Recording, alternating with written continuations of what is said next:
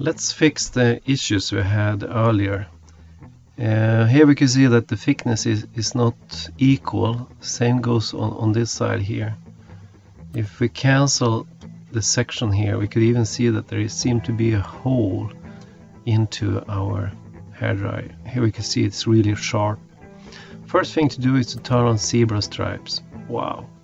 Here we can see that they're, they're, they're not even connected. So it's not even tangent continuity and here it, it's messed up completely. Okay so to work with those loft surfaces I will move up the timeline so it doesn't need to update everything so I just stop underneath the mirror. Uh, it's nice to have the mirror uh, the surface is mirrored because then we could just check if the zebra stripes are all right. Uh, let's start with the first loft so we take them in the correct order. If we look at this one here we can see that the yellow line there that is the mathematics that actually would like to go a little bit further in than the spline the guide that we're forcing it to. Uh, so if I click on this guide here oops I don't want to add it into the proof files. So delete it and go down. So if I click on the guides here, we can see that it becomes thicker. Here we can also see that it doesn't have any direction. So this is not forced to be flat at the symmetry plane. So here we have a thing that we also need to fix and that is to have this uh, this symmetry plane going straight in. So we need a direction vector and we need to make that. Another possibility is to make a surface out of that curve and then we get the direction as well. Okay, uh, in this case I think we cancel, go out from this and let's fix that direction vector. So I will borrow a sketch that we already have. We, actually we could use whatever sketch we like. I go for this one here and just make a tiny little center line as a guide. And because it's a center line it, it will not influence this sketch here. It, it doesn't really matter um, that it exists on that sketch. But I would like it to be perfectly horizontal or vertical. So I choose it and force it to be vertical. Okay I go out from the sketch. So that is one thing Another thing was that the guide curve here for the loft seemed to be a little bit too quick. So if we go in, we could, instead of having it quickly going in here, we could make it a little bit wider in there. Maybe in this direction as well. Okay, let's go back uh, to the loft now. So now we see that these are a little bit closer to each other and let's choose that guide curve and add a direction vector. And now we just have a direction vector here that I added in that sketch. So that's good. The next thing is uh, to check if we could do something about the pattern here. Just looking at the pattern now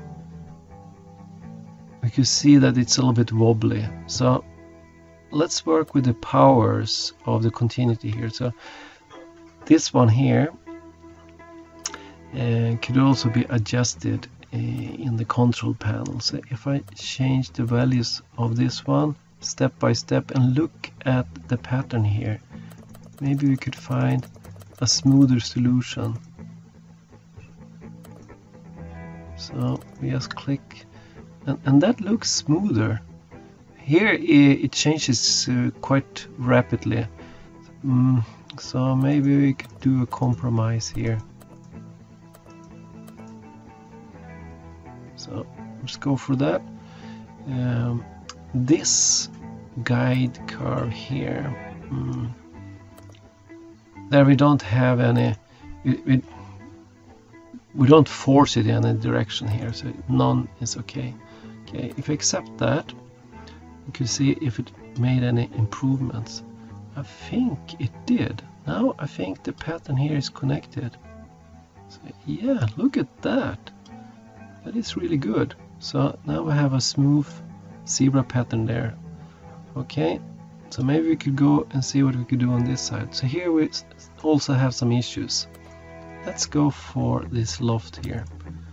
And instantly when we go into the loft we can see that the yellow which is the mathematics where, where the mathematics prefer to have the surface is a little bit changing uh, or going a little bit quicker here to from point to point. So maybe we could change that as well. Um, another thing is that again we need to check what the constraint is for this one I go down and have a look at sketch number 7 and you see that there is no constraint at all.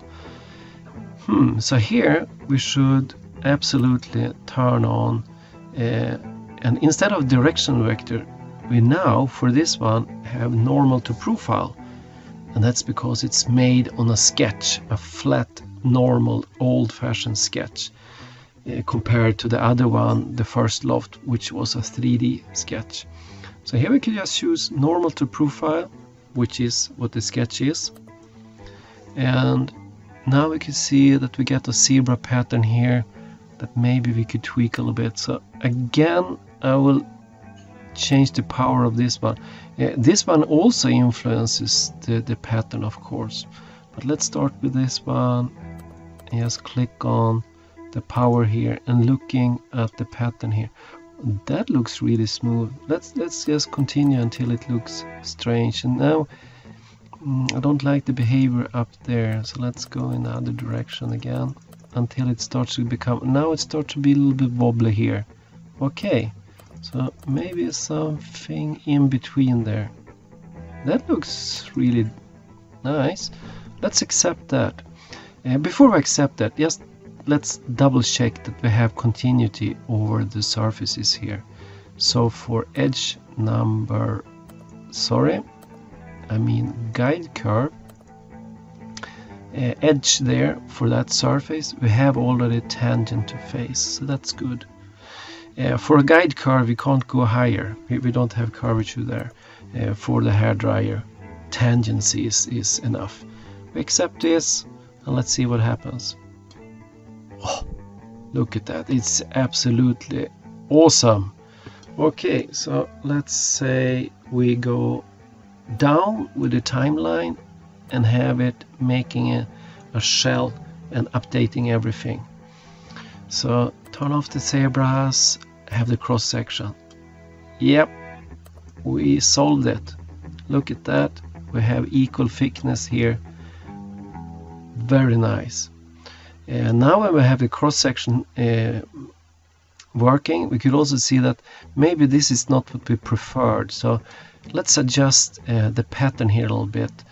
Uh, so if I make the pattern a little bit wider in between so if I click inside where the pattern have made the surface we, we actually get a possibility here without going into the feature to, to change this. So let's say, say I go for 9 millimeter and click rebuild. And then we get a little bit of space in between there. Okay. So I'm happy with this. We have solved that one. Super. Working in this side of the hairdryer, I can see that I have forgotten to make a chamfer here. So let's add a chamfer. Yeah, so if I go for instead of fillet just underneath we have chamfer.